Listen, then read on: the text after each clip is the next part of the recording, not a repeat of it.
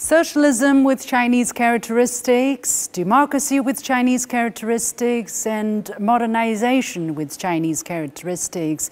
It seems that every time we talk about China, it has to have some Chinese characteristics. But exactly what does this term mean? It may sound obscure, but for the Chinese, it's not obscure at all. So to help us understand these concepts, I'm here joined by Professor Roland Boer from the School of Philosophy of Renmin University of China, and we're in Wuyi Academy, the place where an ancient Chinese scholar helped shape the Chinese civilization.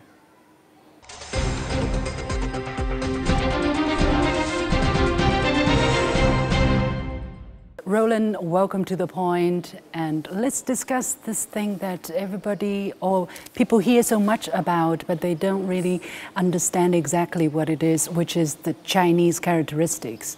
We hear so often what make up the Chinese characteristics, and if I were to ask you to use three keywords, what would you choose? Three words concrete conditions and culture. Concrete conditions That's and right. culture. Three C's. True. Okay. Concrete. The first two are connected to each other, and obviously culture is as well. Okay.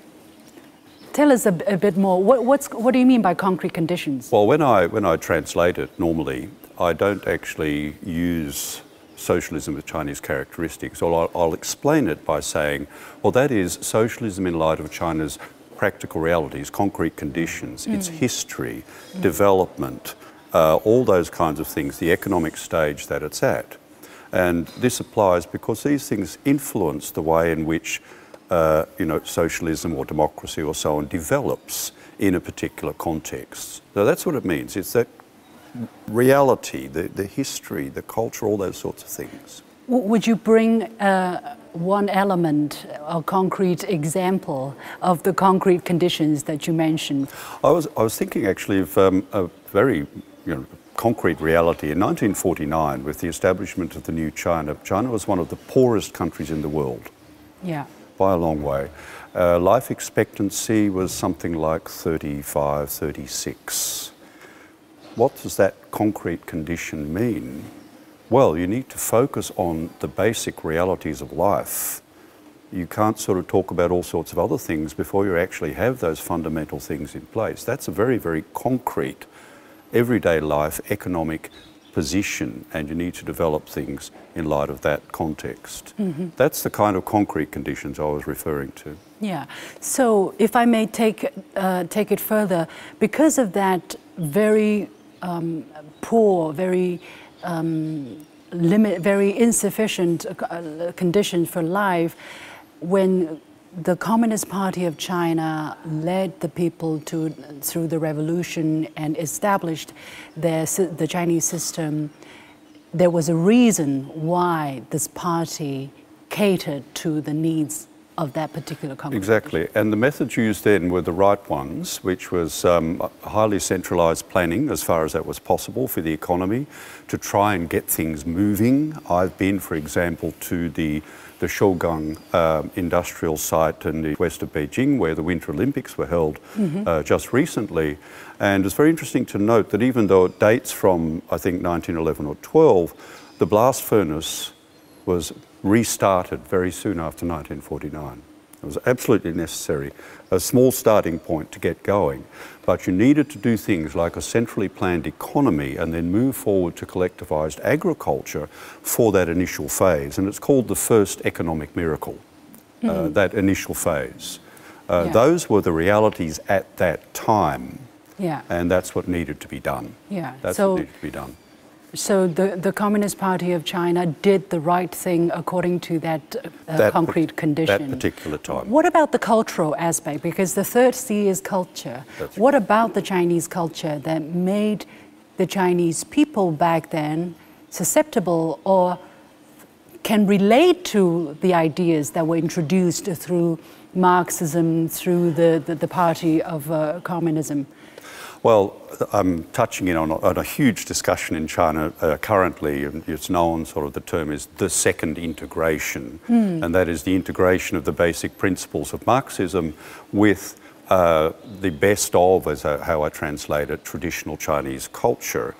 Now, what does that mean um, in light of the, the cultural framework? On the one hand, this has always been underway, always been underway. There's a reason why Marxism took root. Yes. Very practical realities, but also some, some core values that had grown up over the millennia of civilization that resonated. Such as? Such as, such as, for example, appointing people on the basis of competence and merit. Mm-hmm. Uh, that's, that's a very crucial one, goes way back.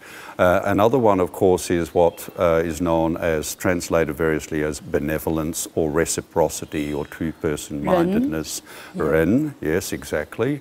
Um, another one that I think of, it, this one is, I must admit, a little bit more, if I may, philosophical.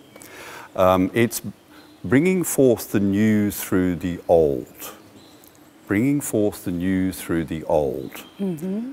um, or making informed choices as to what to accept and what to take further.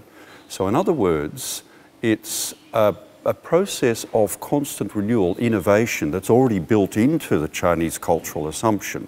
It's not regressive. It doesn't go, look back to the past, hang on to the past for the sake of the past, okay. but it uses the values of the past to develop in a new way. So, in a way, because some principle I think is really important. Yeah. yeah. Well, some people may have the impression that the Chinese, because we're so old as a culture mm. and a living one, meaning it's never been interrupted, it, it, has continuously existed for millennia.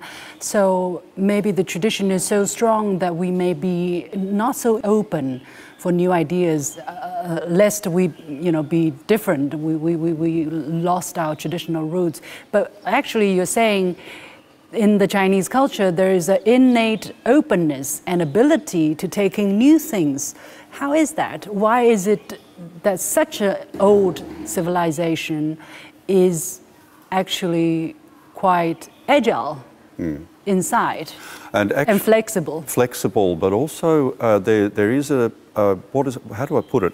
There's a willingness to innovate, to tackle difficult new problems and find new ways to solve them. Mm. And I find this with my students. They want to really get into the, the tough problems and find new ways of thinking to deal with them. That is a notable feature of it. I also notice, for example, in surveys that are done amongst business leaders, say in Germany or Western Europe and China, whether they want to use new technologies, try them out. Mm. And from what I understand anyway, about 70% in China are willing to try new technologies to see what the possibilities are. If it doesn't work, well, we'll do something else. Yeah. There is that inbuilt process of innovation. Of what's the downside of it, though? Is there a downside? Well, every time I come back to China, it seems like so much has changed. Mm. Uh, whereas, you know, I go back to Australia or I go to Europe, and people think things are moving along there, but nothing seems to change. Mm. Okay. So on the one hand, there's a kind of feeling of, well, I know what it's like, it doesn't change. Uh, and I ask people here, what, what is it like for things to change so much, to change so fast, especially in the last 40 years or 45 years, the reform and opening up? Uh, and one response is, well, uh, we're used to it. But on the other hand, there's always that question about where is your anchor, where is the, you know, what is it that you can actually uh, hold on to? And I find very interesting the increasing emphasis of drawing out the best of China's traditional culture as providing a much wider and deeper foundation in hmm. light of all of those developments and changes. So there is a downside. It can leave you disoriented. It can, yeah. you know, you wonder where are we going with all of this and that sort of thing. So. Yeah. You know, it's, I sometimes find it bewildering. I'm used to it, but still it can be bewildering. That's why we're in such a um, fascinating and sometimes bewildering period of time when we have, you know, everything. Mm within access mm. and there's a butterfly on your shoulder. I don't want to drive it away because it's so beautiful. That's lovely. How often do we have a butterfly in the middle of my interviews? I'm going to treasure this. Yeah. Um, and again, this is not how everyday China looks. If you go out on the street, you know, it looks like very much a Western city. So um, where are we going? I mean, and, and then hence the importance maybe to rediscover who we are and to revitalize the, the, the traditional roots of, of us. Do you think that is the, what's, go, what's happening? I, I see that happening. In a sense, it's been implicit, but it's become very explicit in the process that's been taking place. There's another important dimension of this, though, and you, you find, for example, I've been uh, in May this year, or last year, I went to Tibet. Mm-hmm. Uh, and it's very notable that culture flourishes, innovations, both carrying forward the traditional culture, the best of it, but also innovations in culture in a new way, really takes place best on a strong economic foundation. And when you've got the resources to do so, you can all of these things can be fostered and encouraged and so on. Yeah. And China has that economic foundation now, and it's able to do it. At the same time, there's a recognition, I think, as the saying goes, where would China be today without 5,000 years of civilization?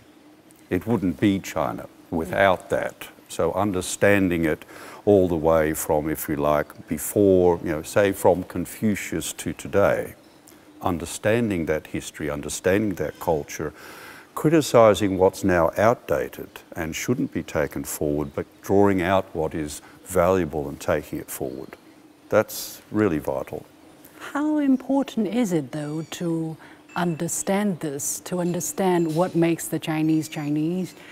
Is it? How, how important is it, especially for people around the world this day and age? Because there is a great competition going on. There is hostilities, rivalry going on, and the constant, I would say, accusation of, you know, of, of, the bad intentions of China or of the risk that China poses. And on the other hand, China says, we don't want, you know, to take over the world. We, what we want is, you know, a, a community of shared future for humankind. But people don't really relate to that idea, many.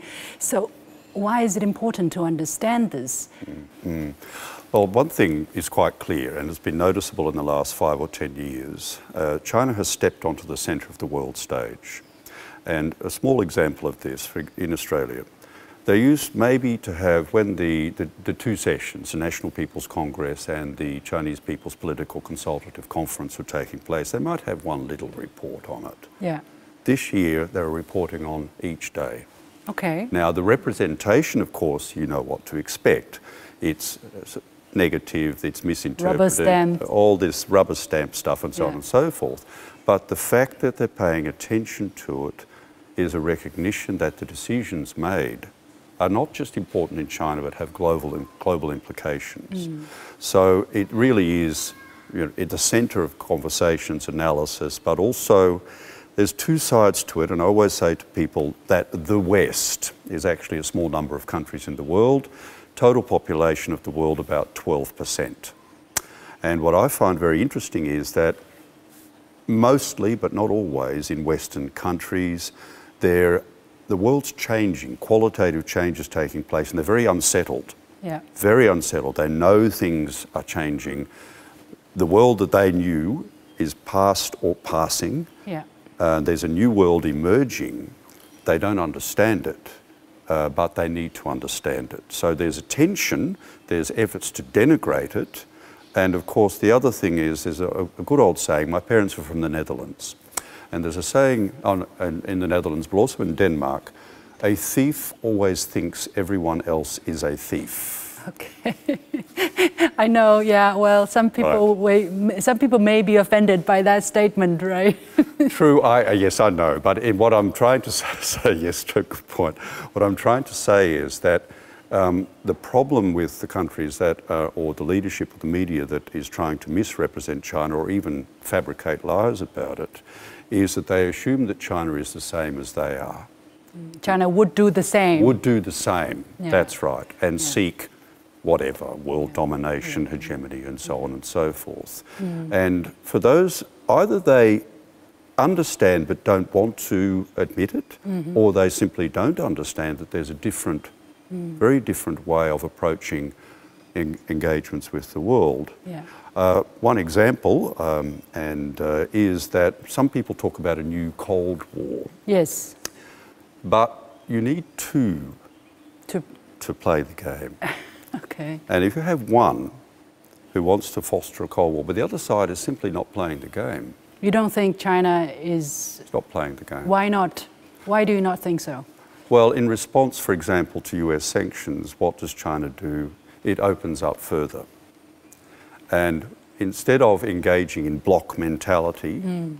the Belt and Road includes more and more uh, countries around the world in an inclusive approach to work with them. But you, you see, the argument uh, among many in um, the, the Western countries now is China is trying to build its sphere of influence so that it has many brothers and sisters and allies in disguise so that it will take over the world or the Chinese model may take over the world. And you don't think that is China's intention? Absolutely not. From the cultural perspective, um, why do you think it is? Or maybe the traditional culture has changed, you know, over the past 40 years with the onslaught of Western ideas, Western notions? That it could be, but I don't. I don't think that's the case. I, there's another factor that's actually very, very important here, and this resonates with many countries around the world, and it's China's experience during the century of humiliation. So, from roughly the Opium Wars in in the 1850s to 1949, um, is uh, semi-colonialism, invasion by imperialist powers, uh, and really ground into the dust. And so the principle arose of mutual non-interference, or if you like, uh, the negative is not seeking hegemony, not seeking to dominate. Mm -hmm. And this is a fundamental principle when engaging with other countries. And which countries recognize that principle? Countries that have been colonized in the past by Western imperial powers, because they have exactly the same approach. We don't want you to tell us what to do, and we won't tell you what you should do. And it's that experience where you find, and if you think about all the countries in the world that have been colonized, it's the majority. It's the majority. So, in a sense, it's quite clear, and it's been emphasized right through and again recently by the foreign minister, mm. that China's relationship with developing countries or the global south, if we want to use those terms, is always much closer because it comes out of a common experience, a common historical experience. To have been colonized, exactly. been near um, being dismembered at a, exactly. at a certain point. Yeah. Um, but do you think that China could change or China could have adopted some of the, you know, um, other notions, for instance, this idea of um, doing business with everybody. You know, for a long time, merchants or doing trade is very much looked down upon in Chinese society. But over the past, you know, um, especially since China joined the World Trade Organization, we have been the one knocking on doors. Mm. You know, do you want to buy something? So could there have been changes in the Chinese uh, approach to this world? And, and I don't know. Um, the changes, perhaps not in terms of trying to dominate or take over in that respect. It's, it's simply not part of the, if you like, the Chinese cultural DNA, mm. from my perspective. Mm -hmm. It's simply not there. Um, but what has changed is the need to develop mechanisms for engaging globally. As I said, China stepped onto the centre of the world stage. Every decision now made, every policy adopted, uh, is, has implications obviously for China, but also has global implications. Yeah and it's becoming used to that uh, process, which it was already an anticipation 40, 45 years ago, but it's really become a reality in the last decade or so. Uh, so that is the notable development, how to deal with that, how to engage in that in a productive way. And so you find all of these the policies uh, being put forward on a new forms of global governance, new form of human civilization, a shared future for humankind, one after another, the Global Security Initiative. These are with a global view. Our idea of how the world should be? Or oh, that's an interesting question. I see them more as putting forward proposals for people to consider and then consulting about them and developing. That's precisely what some people are afraid of. They're saying, oh, China is big and, and stronger. Now it wants to reshape the world order. That's what some people are saying. Do you see it that way? Uh, what world order are we talking about? Are we talking about? They're, they're ostensibly talking about the world order that's been established after Second World War. Right, You know, yeah. the U.S.-led institutions, That's the right. United, and China also says that we want to have the United Nations at the core. You know, we, we respect the UN Charter and so on. We don't want to. To throw up out everything, the World Trade Organization, uh, at least the institutions that China says we, we want to uphold it. So, how do you reconcile the kind of visions that China has put forward, the, the three initiatives and the you know community of shared future, and um, the, the the existing after uh, World War, post World War II order. Well, there's two sides to this, it seems. One is that the existing organisations are obviously going to be reformed in light of the changing global situation. But on the other hand, you have a series of other organisations now, Belt and Road, Shanghai Cooperation Organisation, and so on, which are providing st- structures that are getting more and more important, BRICS as well as part of it, structures that are by their very nature going to change the way in which the world operates. But this is not simply a desire of a country like China, it's a desire of countries like Russia, countries in Africa, etc. The so called rules based world order, as is pointed out, is actually what Washington tells you to do. Mm. And I notice very carefully that the Chinese statement of this is to follow international law. Rules based world order is not according to international law. So it's actually upholding international law, but international law needs to be updated, reformed in light of what some call a multipolar world. Uh, and that is going to change. And to be perfectly honest with you, I'm very optimistic. I think it's great that it is a time of qualitative change and that the world order we've had is changing. I think that's for the better.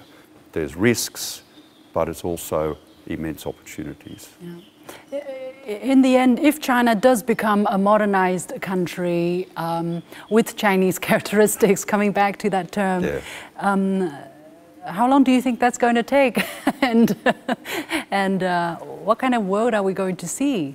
2049. 2049? okay, so we Well, have 20, 25 years. It's the obviously it's that's the the century uh, since the founding of You think it's doable? You think it's possible? In some respects, it's things have already happened, but in another respect, it seems to me that China has only just begun. Um, or maybe I'll put it another way, because that can sound ominous to some listeners, if I put it that way. What I find the situation is if no matter how something good is or seems to be, they don't really sit back and say, oh, okay, it's achieved, don't need to do anything more. It can always be improved in some way, and it has to be because conditions change. Yeah. Uh, that's a reality.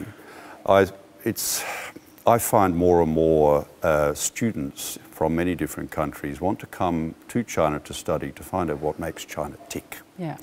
What makes China tick because this is a reality of the world today, but it's also a reality that China is on the world stage with other countries on the world stage, is not the hegemon, to use that old term from you know, the Warring States period and so on. That's the big difference. Fascinating. We have to be patient. Yeah. We do have to be patient, yes, we do have to be patient. And meanwhile, work, do what we have to do to make this world a more equal place. Be patient. I think the West will come around eventually. Yeah, I, I'm not anti-West. You know, No, people people people would say, "Ah, she's anti-West. She's anti-West." I'm not because I'm taking a lot from the West. That's you know, right. I, I study Western literature. I'm a fan of Western literature. Mm. I speak Western languages.